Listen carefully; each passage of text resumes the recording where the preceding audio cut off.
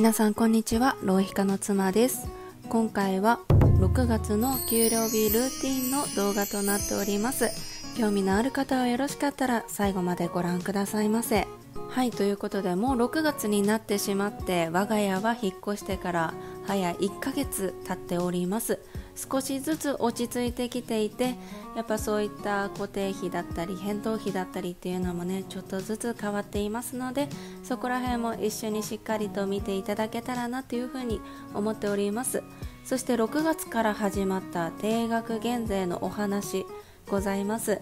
それはね私は本当に全然詳しくないんですが最後に一緒にね今回だけ特別に旦那さんの給料明細を一緒に見ながらあ定額減税こんな感じで反映されてるんだっていうのをね一緒に見ていこうかと思います。それではいつもね長い時間働いてくださっている旦那さん。ありがとうございます。っていう気持ちを込めながらお金を数えさせていただきます。今回のお給料は5月分のものとなっておりますのでゴールデンウィークで結構お休みをいただいた分今まで通りなのかなというふうに思っていたんですが旦那さんはねすごいいっぱい働いた。今回は期待してもいいかもっていう風に言っていたのではいしっかりと数えさせていただいております。この数える作業がねちょっと嫌な思いをさせる方がいらっしゃいましたら本当に申し訳ございません。ですがねしっかりと皆様の目の前で数えさせていただきます。はいということでそろそろ数え終わります。こちらでございます。はい今回は29万8000円でございました。跳ね上がりすぎですね。めちゃめちゃびっくりしました。あれ？そんな出勤しとったっけ？っていうふうに思ったんですが、まあ、給料明細を見てみると朝早く夜遅いっていうのがね本当にすごく多かったみたいでこの金額となったらしいです。それでは振り分けをしていきます。こちら管理費2万5000円となっております。こちらは全てをまとめて管理費と書かせていただいておりますが2万円が維持費と管理費のお金となっておりましてそして1000円がバイクの駐輪場代そして4000円が車の駐車場代となっております。こちらのお金を分ける意味がですねどちらとも振込口座が違いますので分けさせていただいております。めちゃめちゃめんどくさいです。じゃけど忘れないようにしっかりと振り込んでいきたいと思います。続きまして県民共済で8000円。こちらは子供2人分で2000円。そして親2人分で6000円となっております。こちらはね来月あたりぐらいに旦那さんのお母さんと保険の話をしようと思いますのでまた変わってくるかと思います。はい続きましてこちらカーリース代で2万1000円です。こちらはねずっと言っております。我が家の車はカーリースとなっております。9年リースなので2020年買った件。あと5年ぐらいリース料金が残っております。はい続きまして任意保険が2万6000円です。これは毎回言っているんですが私が第2等級のおかげでこの金額となっております。あと言ってなかったことといえば旦那さんのバイク特約がこちらの任意保険の方につけさせていただいております。やけんそれでも値段が変わってくるのかな？はい続きまして愛のフルさんで2万6000円です。これは旦那さん分と私分で1万3000円1万3000円で最低金額でね毎回入れさせていただいております。こちらの借金につきましてしっかりとお話をしたものを今週末あたりにまた出そうかなって思っております。どういった経緯で借りたのかどういう感じに今残金はなっているのかっていうところをねお話ししていきます。はい。続きまして保育料が1万3000円です。こちらは今年4歳の息子の分と2歳の娘の2人分となっております。ざっくり言いますと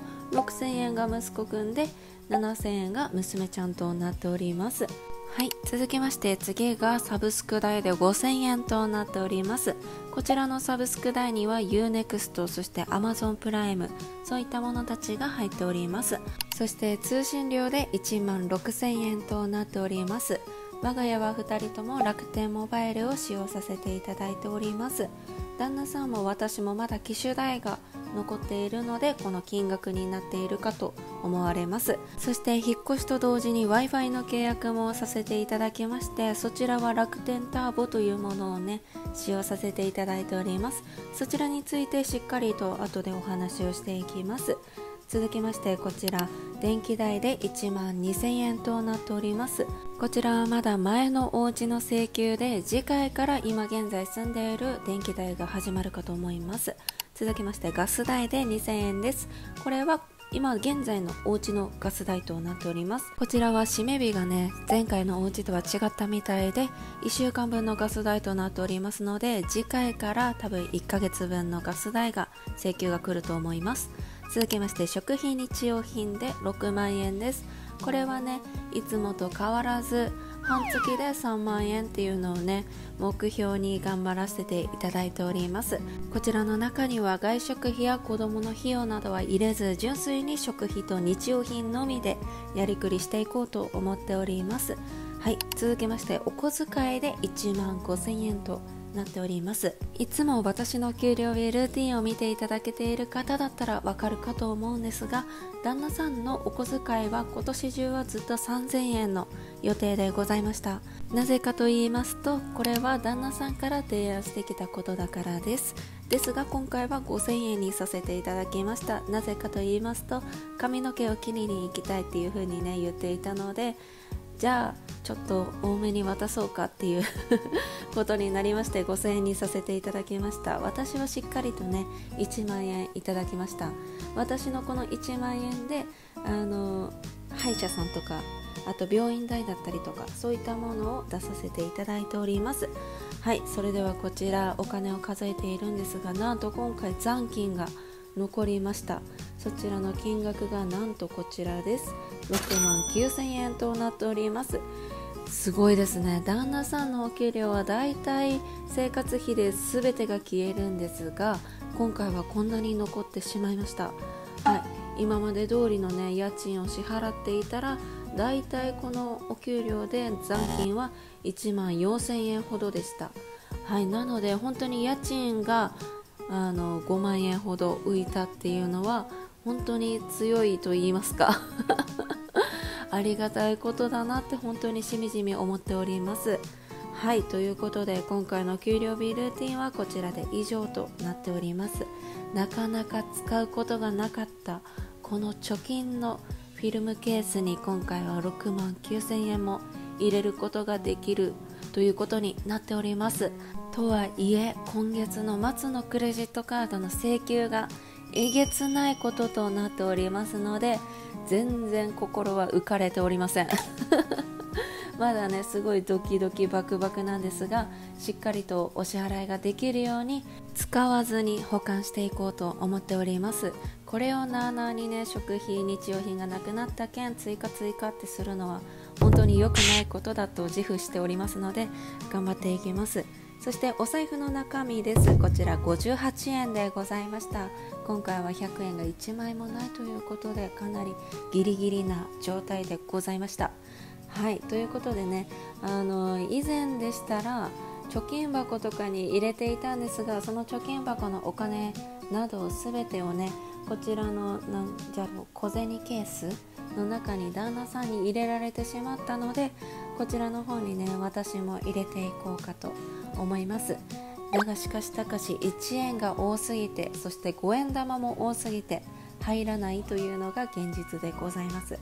はい。一応ねこのなんだろう動物の森の貯金箱の中のものはね入れられていなかったんですがもうなんか別々に分けるのめんどくさいんで全部まとめて小銭ケースの中に入れていこうかと思います。これはね私がね以前に買ったんですが見た目がちょっと可愛くなさすぎて使ってなかったものとなっております。はいということで今回の給料日ルーティンはいかがだったでしょうか？やっぱり家賃が7万5000円から2万5000円にすごく